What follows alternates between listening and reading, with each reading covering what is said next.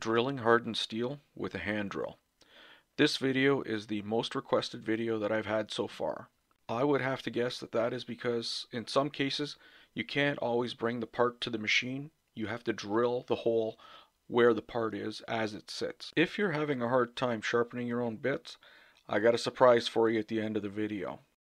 I am not going to be using a solid carbide drill bit today because the hand drill or even a drill press is not rigid enough for a solid carbide drill. So I'm going to be using, in Canada we call them a concrete bit, I believe in the US they're called masonry bits, and in the UK and everywhere else in the world they're called hammer drill bits. The drill I'm going to be using is a DeWalt handheld drill. I also went through four concrete bits and one testing titanium nitrided uh, high-speed steel bit. That just wore out to nothing. Okay, before we get started, please take a moment to like and subscribe. It's free and it'll help me out. Okay, let's get started right now. Time to test the hardness of the part before we drill it. Now I want to test my drill piece, piece I'm going to drill into. It's been heat treated, as you can tell by looking at it.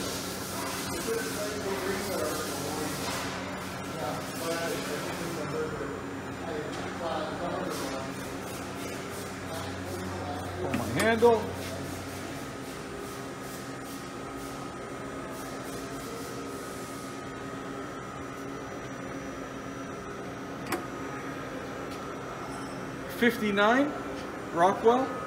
So that should be nice and hard. Okay, this is actually the bit that I'm going to resharpen.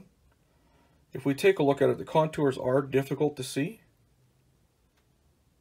So I made this piece of foam up to show you what the contours actually look like. It might be easier for us to see. If we see that it's rounded here, well that is an awesome shape for when you have to hammer in to concrete to break up the loose debris. It's a negative rake, so it's very, very strong, but that will not work well for cutting steel because there's nothing for the for the steel to go up on and it just won't cut very well. So my plan is to grind the tool bit to look like a spade bit. So what I want to do is put a contoured shape here and a contoured shape here, just like you would on a regular drill bit. And then put a gouging point here and a gouging point here to make a chip relief. Now the problem with this is carbide is extremely fragile, okay? And when I'm drilling manually, I'll be twisting around a lot. Go this way, I'll be twisting around a lot because I'm not holding it in a drill press. So that might be a little bit of a trick. I might have to go back and resharpen this a couple times. Okay, so I want to sharpen these two bits here. So how do I do that? Well, I'm going to use my diamond wheel, which if you look at some of my other videos, it shows how I picked it up for $5, which was awesome and I made an arbor to fit onto my grinder. But if you don't have that, you just have a table saw. This style of wheel works excellent as well. And then if you don't have a table saw and you only have a hand grinder, this guy will work well, will work awesome as well. Try to avoid serrated blades because they make an interrupted cut and it's just harder to hold, especially when the bits are small. Okay, I'm going to cheat a little bit because we're drilling by hand. Your drill generally goes like this or you're drilling in on an angle, etc. I'm going to cheat a little bit. I'm going to put one of these levels here and probably a white piece of paper under here so I can see this and then tape this onto the back of my drill. I'm lucky because the drill actually has a flat spot on the back here.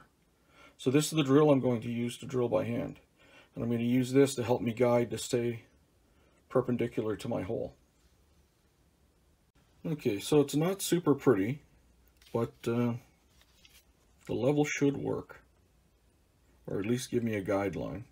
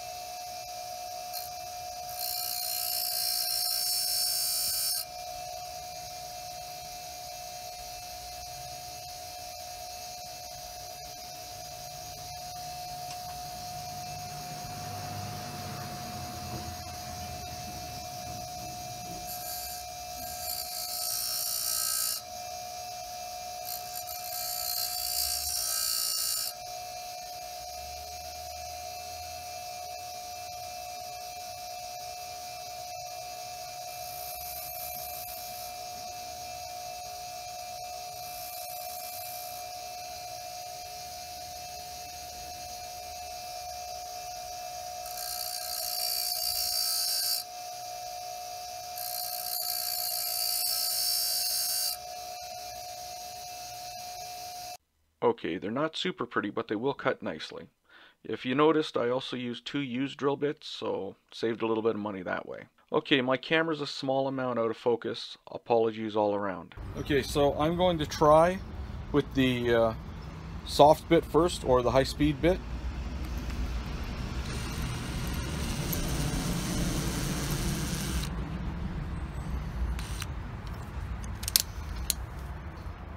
We'll try the one in the center.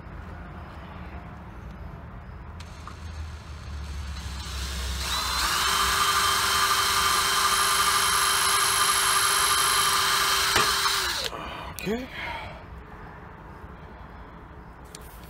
That didn't do much for it, and it didn't touch the block at all.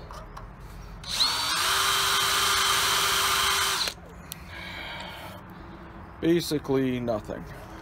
The high speed, or one of the carbide ones that I just sharpened.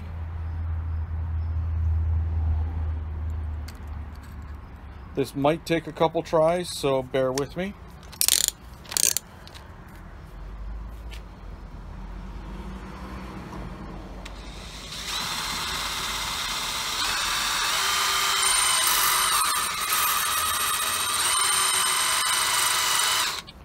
Okay, at this point in time, I'm going to use a little bit of coolant.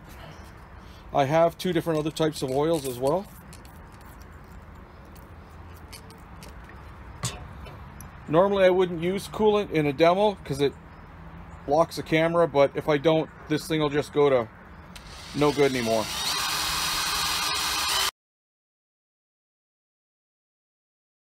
I think we got a broken bit.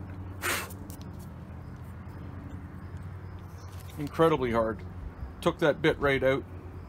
It's gone.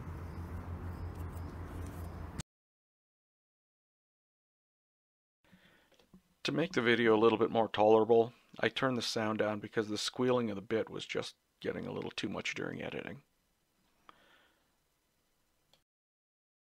The problem is my battery's dying. Hold on a second. A little bit more power here.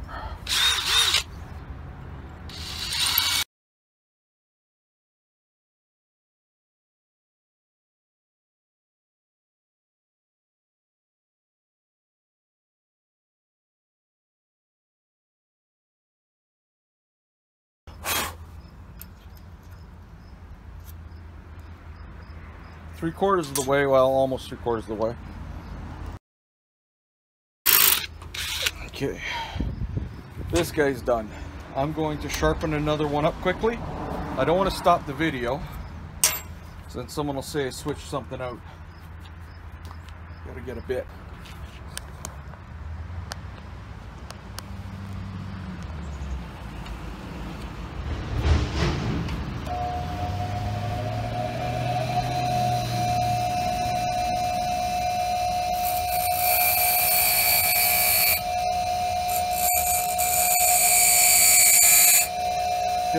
Is exposing the, uh, removing the silver solder to expose the carbide. This wheel won't cut carbide, so I'm not sharpening with this wheel. But it does get warm.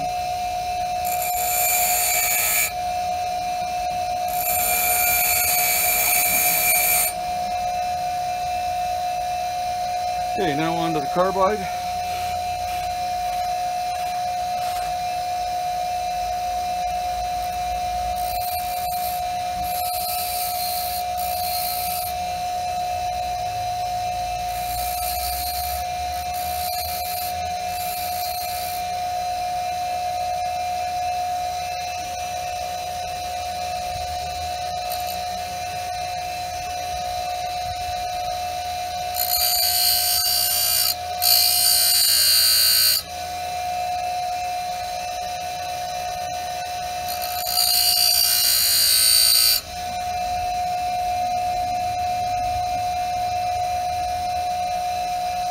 You guys can see that or not.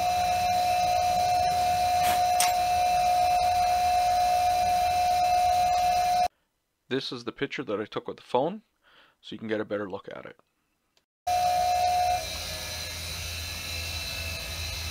This is my newly minted carbide bit. Now, I probably shouldn't be drilling in the same hole because it probably got tapered, but I'm going to give it a try and we'll see what happens. I'll try and go down slowly.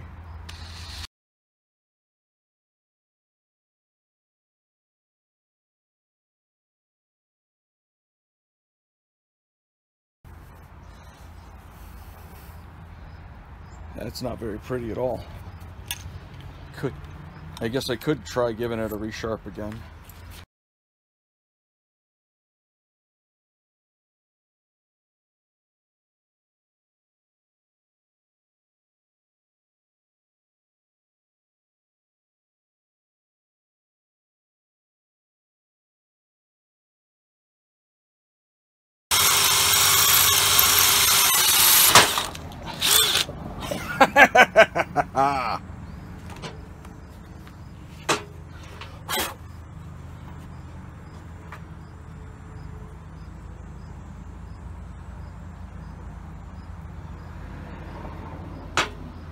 Excellent.